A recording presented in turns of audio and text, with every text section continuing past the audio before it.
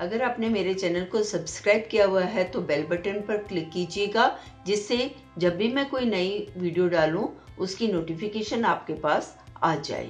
आज मैं आपको बताने जा रही हूँ designer sleeves with piping cutting and stitching जिसका नाप इस प्रकार है। Length of sleeve 17 inch half arm round 5 inch length of round cut 5 inch width of round cut 3 inch length of cut start from top 1 inch. ये मेरा readymade suit है और इसकी ये ऑलरेडी कट स्लीव्स हैं। मैं इसमें राउंड कट डाल करके आपको स्टिचिंग करना बताऊँगी। उसके लिए सबसे पहले हम इसकी विड्थ का सेंटर निकालते हैं। ये है सिक्सटीन एंड हाफ़ तो इसका हाफ़ आ जाएगा eight one by four inch और टॉप से हम वन इंच छोड़ते हुए लेंथ में निशान लगाएँगे फाइव इंच क्योंकि हमारे कट की लेंथ है फाइव इंच अब हम यहाँ से भी सेंटर निकालेंगे, ये सिक्सटीन है 16 का हाफ़ हो जाएगा 8 इंच। और इस लाइन को हम ऐसे मिला देंगे।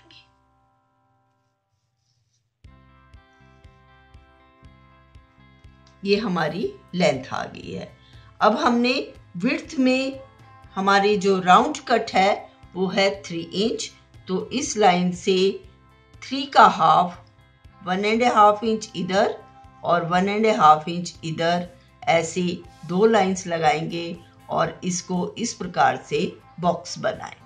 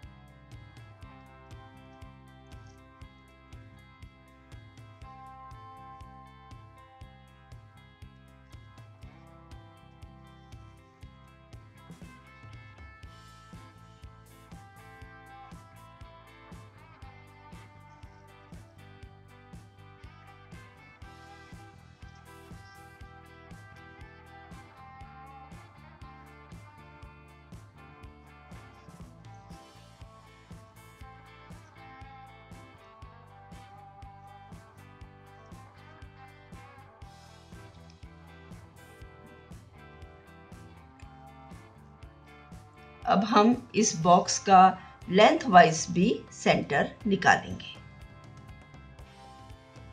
फाइव का हाफ़ हो जाएगा टू एंड हाफ़ इंच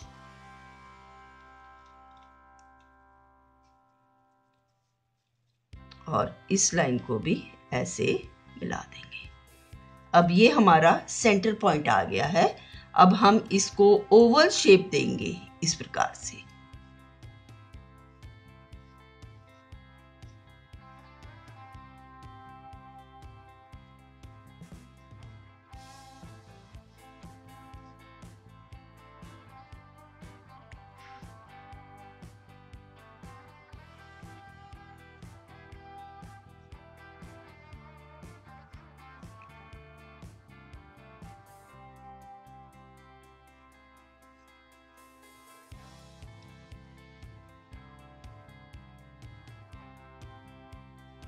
और इस शेप से हाफ़ इंच अंदर एक और राउंड लगाएँगे और उस राउंड की ही हम कटिंग करेंगे।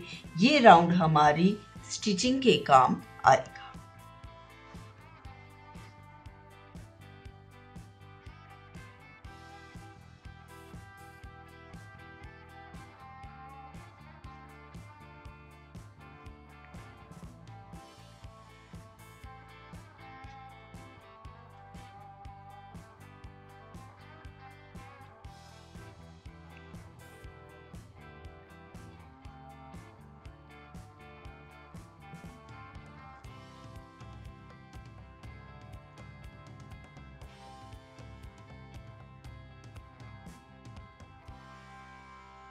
अब हम इस इनर राउंड की कटिंग करेंगे।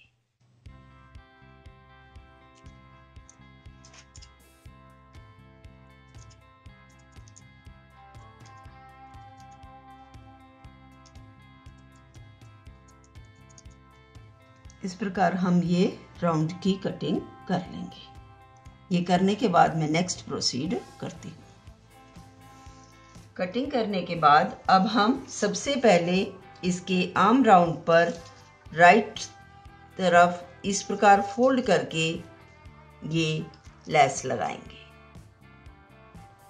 लेस स्टिच करने के बाद अब हम ये पाइपिंग लेंगे और राइट साइड में इस पाइपिंग को इस प्रकार रखेंगे इस राउंड के सेंटर में और इसको थोड़ा सा ऐसे फोल्ड कर देंगे और इस लाइन के ऊपर देखते हुए इस पाइपिंग को इस राउंड मैनर में सिलेंगे। पाइपिंग हमारी बाजू की इस साइड होनी चाहिए मतलब कट से अपोजिट साइड में।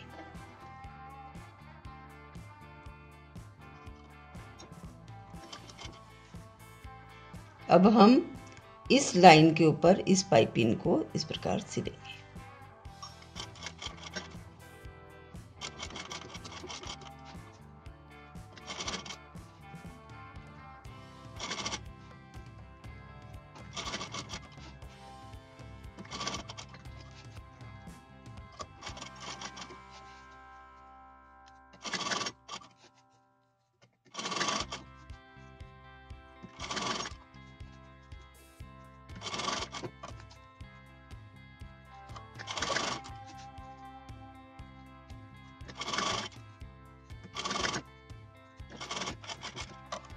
इसी प्रकार हम दूसरी साइड की बाजू की पाइपिंग भी सिलेंगे। राउंड में पाइपिंग स्टिचिंग करने के बाद अब हम इसमें हल्के कट्स लगाएँगे और ध्यान रहे हमारी स्टिचिंग इस कटिंग के दौरान ना कटे। ये कट्स लगाने के बाद मैं नेक्स्ट प्रोसीड करती हूँ। कट्स लगाने के बाद अब हम इसको इस प्रकार फोल्ड करेंगे और इसकी साइड साइड में अब सिलाई लगाएँगे। ये हमारी राइट साइड में आ जाएगा।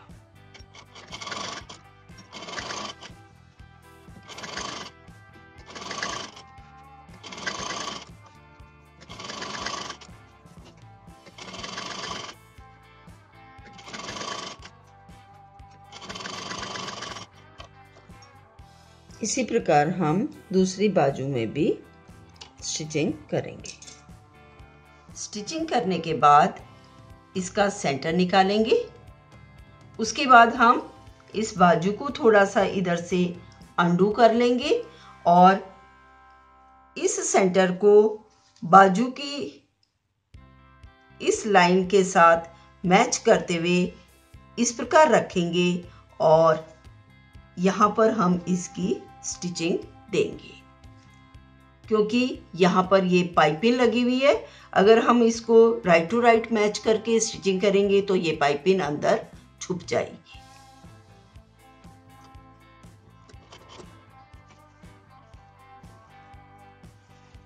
इसको इस प्रकार यहाँ रखेंगे और ऐसे स्टिच करेंगे।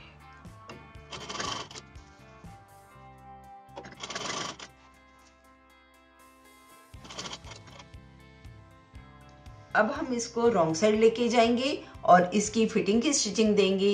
ये कंप्लीट करने के बाद मैं इसकी एक पिक अपलोड कर दूँगी। अगर आपको मेरी ये वीडियो पसंद आई है तो लाइक करें। अगर आप इस चैनल पे नए हैं तो सब्सक्राइब करें। नेक्स्ट वीडियो में मैं आपको एक नई कटिंग या एक नई स्टिचिंग आसान तरीके से समझाऊँगी। धन्यवाद।